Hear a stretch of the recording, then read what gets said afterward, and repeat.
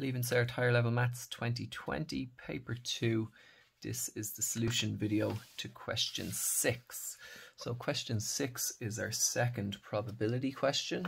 Uh, part A. A class group carried out a study of the makes and fuel types of cars in a large car park. It found that 30% of the cars ran on diesel and 70% of these were Volkswagen. It found 60% of the cars ran on petrol and 25% of the petrol cars were Volkswagen, and it found that 10% of the cars were hybrid or electric, and 9% of these were Volkswagen. One car is selected at random from the car park. Find the probability that it's a Volkswagen car. So to find the probability that it's a Volkswagen car, we'll basically find the proportion of Volkswagen cars that are in the garage.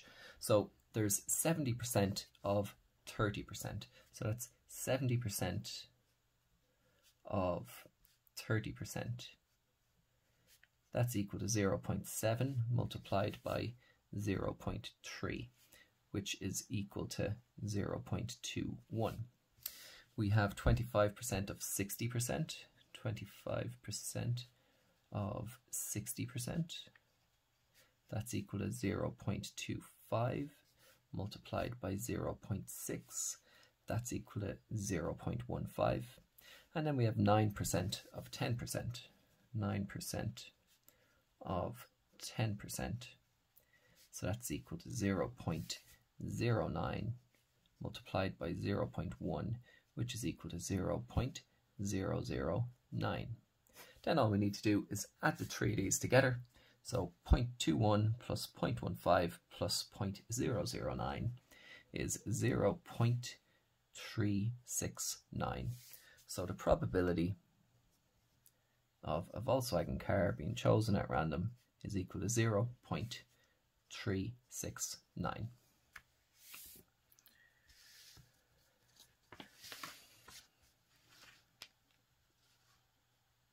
Part B says the Road Safety Authority has data on driving test pass rates at all its test centres. In a particular driving test centre, the probability that a person taking the test for the first time will pass is 1 out of 4. All of the test results are independent. In this test centre, on a particular day, Joe, along with five others, takes the test. All six are taking the test for the first time. So this is their probability of passing, 1 out of 4. Find the probability that Joe passes along with exactly two others. Okay, so the probability of Joe passing we want Joe to pass, and the probability of Joe passing is 1 out of 4. And then we also have 2 of 5 passing. So this is going to be multiplied by 2 out of 5 passing. So 2 passing, that would be a quarter by a quarter. That's the 2 passing. And then that'd be 3 failing. So that'd be times 3 quarters times 3 quarters times 3 quarters.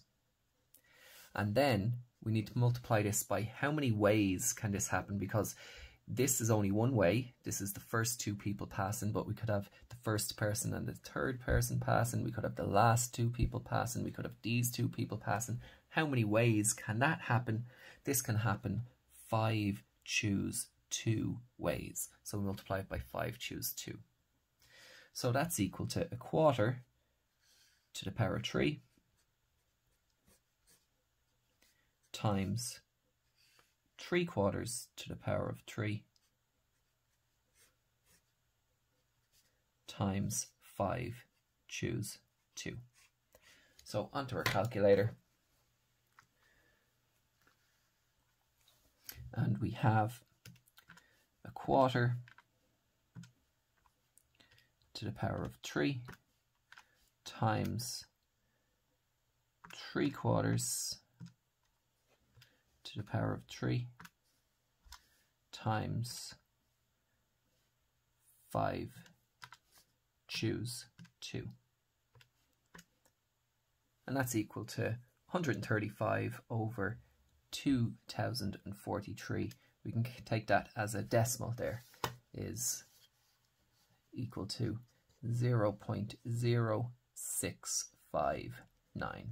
So the probability that Joe will pass along with exactly two others is just a little bit over 6.5%. On to part 3 then. The overall pass rate for all drivers at another centre, so it's nothing to do with the previous part, whether it is their first attempt or subsequent attempt, is a half.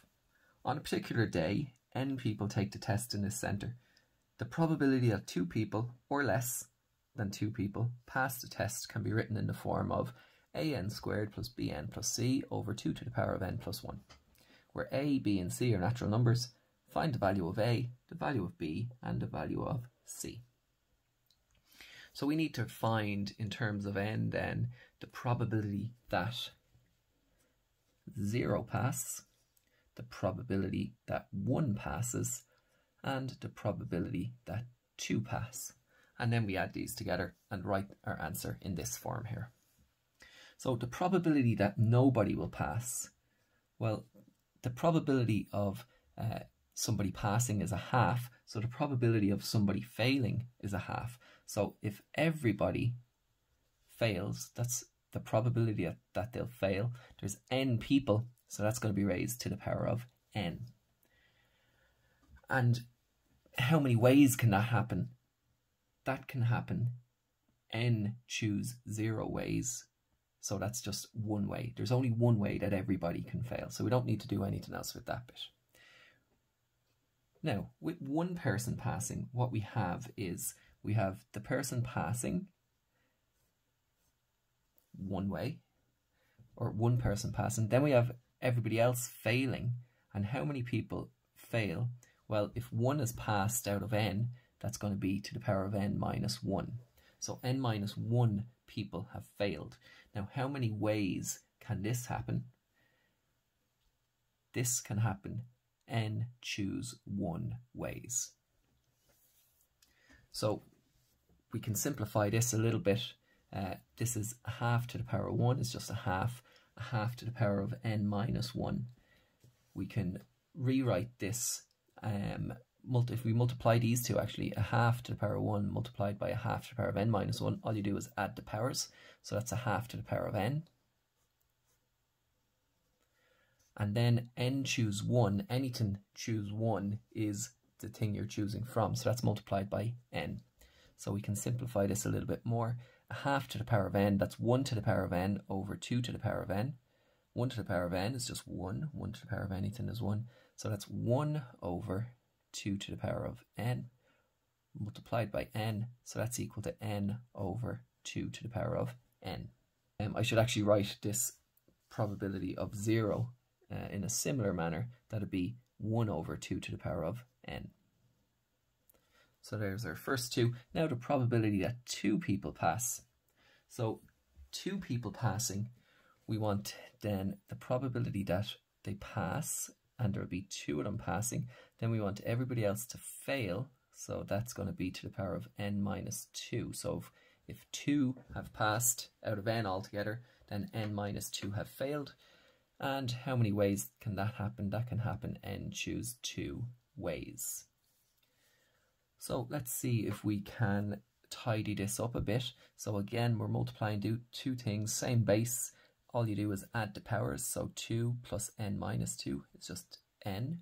So that's a half to the power of n. And then n choose 2. We need a way to write n choose 2 in terms of n. We can write that as n by n minus 1 over 2. Then we need to multiply these fractions out. So we got uh, 2 to the power of n, or 1 over 2 to the power of n, multiplied by n by n minus 1 over 2. So then what do we do? Multiply top by top, you get n by n minus 1. And bottom by bottom, 2 by 2 to the power of n. That's 2 to the power of 1 by 2 to the power of n add the powers, you have 2 to the power of n plus 1. So now we have our three fractions here. 1, 2, 3. We want to write these as one fraction with the denominator as 2 to the power of n plus 1. So we have 1 over 2 to the power of n plus n over 2 to the power of n plus, I'm going to multiply out these brackets here because we have it in n squared plus bn plus c. So we're going to multiply these out. It'll be n squared plus n, sorry, minus n over 2 to the power of n plus 1. Now, for this, we need to write everything with the same denominator. So to get a denominator of 2 to the power of n plus 1, for each of these ones, you need to multiply them by 2, similar to what we did here. 2 to the power of n by 2 gives you 2 to the power of n plus 1. So I'm going to multiply above and below by 2. So that will be 2 over 2 to the power of n plus 1 plus 2n over 2 to the power of n plus 1 plus n squared minus n over 2 to the power of n plus 1. Now I have everything with the same denominator, so I can write it as a single fraction. It's n squared. I have 2n minus n, so that's plus n. And then I have plus 2.